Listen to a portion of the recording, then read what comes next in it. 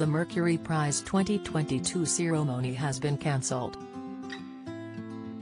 In a statement shared with The Mirror, the organizers said, tonight's Mercury Prize event has been postponed at this time of great national sorrow. We know everyone involved in the Mercury Prize will understand. Our thoughts and condolences are with the royal family at this very difficult time. We will make an announcement regarding future arrangements as soon as we are able.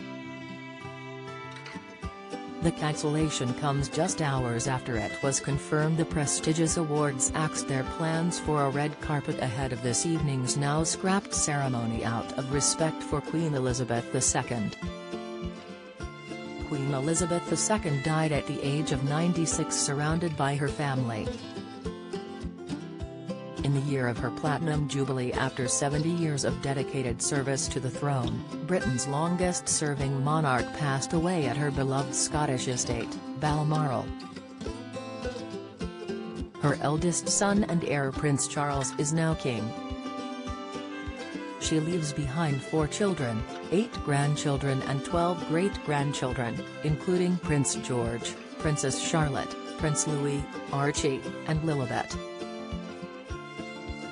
The UK is now in a period of official mourning with her funeral due to take place within a fortnight.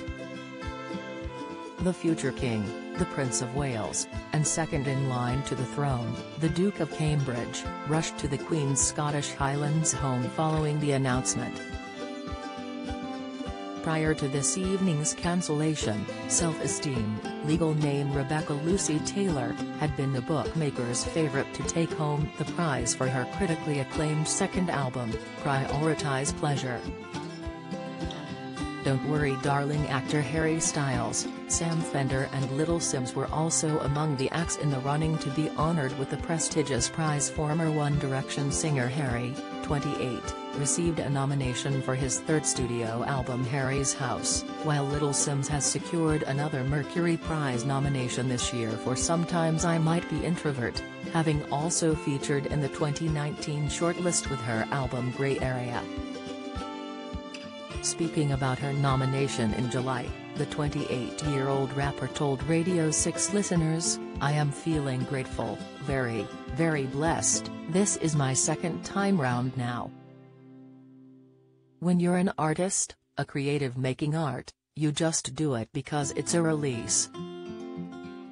I had some things to say and this was my way of expressing it and it's a blessing people have resonated with it. The list is so strong so to be amongst that is definitely an honor. I definitely will carry this energy throughout me today.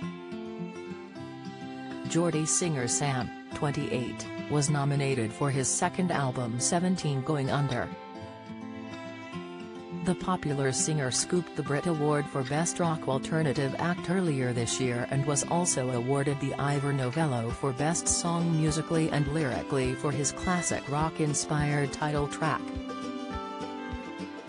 Also among the nominees to miss out on the top prize were Wet Leg, who are due to support fellow nominee Harry on tour next year.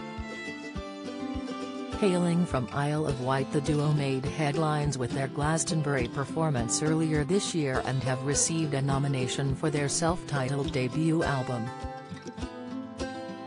Rock duo Nova Twins also made the final cut of nominees for their album Supernova, while Scottish pianist Fergus McCreadie was nominated for album Forest Floor following the highly acclaimed Cairn released last year.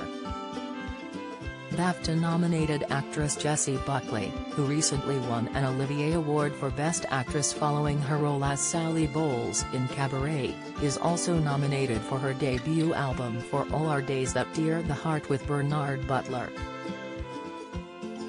Rapper Kojey Radical for Reason to Smile and Welsh musician Gwenno with album titled Trésor, which means treasure in Cornish, were also nominated for the prize all but one of the songs on Gwenno's album are sung in Cornish, which was her first language while growing up. Completing the list of nominees is Leeds-based rock group Yard Act for their debut studio album The Overload. This evening's awards show had been scheduled to feature a variety of live performances from all of the nominees apart from Harry, who was not expected to be in attendance due to his touring commitments in America. A filmed live performance was due to be shown to celebrate his album due to his absence. BBC Radio DJ Lauren Laverne was set to host the proceedings at the Eventim Apollo in Hammersmith, while former Radio 1 presenter Annie Mac took on the role of guest presenter.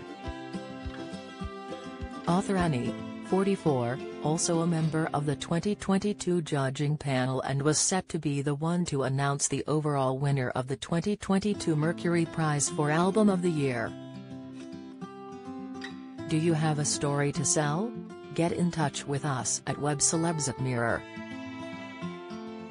Co.uk or call us direct at 0207 29 33 033.